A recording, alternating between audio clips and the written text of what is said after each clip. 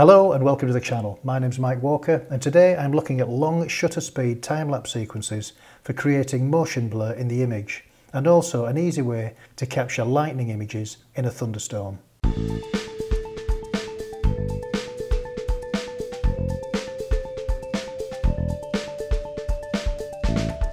I'm on the front here at Torrevieja and it's a very bright sunny day in June.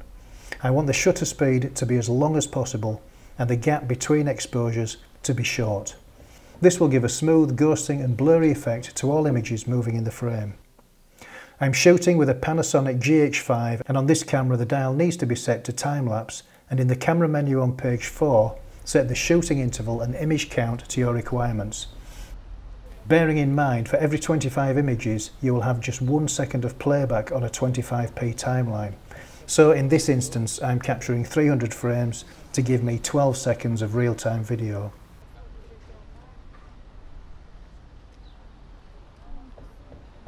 In order to get this motion blur effect we need to reduce the amount of bright sunlight hitting the sensor so that means using the lowest ISO, using a small aperture and attaching a neutral density filter to make it possible to obtain a long shutter speed.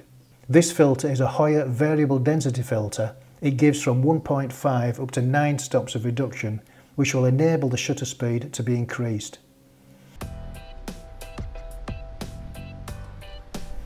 All these sequences have a 1 second exposure at ISO 100 and f11. ND filters do tend to cool down the image. I was set at 8000K for these sequences, whereas normally it would be a lot less, maybe around 5.6 to 6200.